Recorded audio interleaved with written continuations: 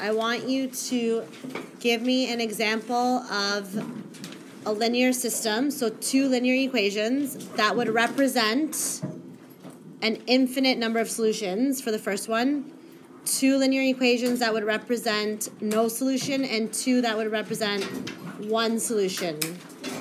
So the first one is an example of a linear system. So that's two equations that would have that would represent an infinite number of solutions. So if you were to graph these two lines, they would represent an infinite number of solutions. That means that their point of intersection is infinite. So what do the equations have to look like? One example, if the first equation is y equals 2x plus 8 and the second equation is the same, y equals 2x plus 8, it means it's the same line. I want you to give me an example. That was too easy. I want you to give me an example. Um, I want you to rewrite the equation differently, but I want you to give me an equivalent linear equation. Something that's equivalent to this, that's equal, but just not, it doesn't look exactly the same, but it's equivalent. So think about what you could do to each term to, to represent it differently. Nathan? 2y, yep. Perfect. So if you get a question like this on your test, you have two equations, and I ask you how many solutions are there. How do you know this is going to be an infinite number of solutions? Because there's it's the same line. They're equivalent. Okay, it's an equivalent linear equation, which means when you graph it, it's the exact same thing. There's an infinite number of solutions to this.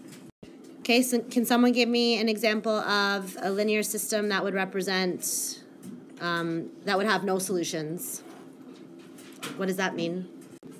They have to have the same slope, which means they are parallel. If two lines are parallel, they'll never, a solution is the point of intersection. Don't forget that. That's the solution.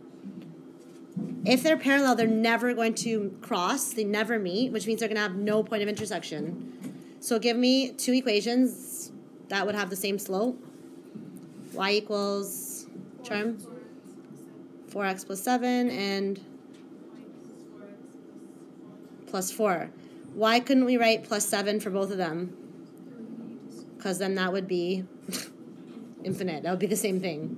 Okay, so they have to have a different y-intercept, same slope. In that case, they're parallel. They will not have a solution. They'll never meet. So for the last one, one solution means they only have one point of intersection and I'll give you two equations and I want you to tell me what these equations are in slope intercept form. So here's one, here's two, equals three. That's supposed to be a three. Okay, so I want to know what equation one is in slope intercept form, and then equation two in slope intercept form. Good? y equals 3x minus 5 over 2, correct? And the second equation, so let's do this one together. It would be negative y equals what? Negative 4x plus 3. What do I need to divide by to make what? Divide everything by negative 1. So in slope intercept form is y equals, good, 4x minus 3. So this is an example of a linear system that would have one solution.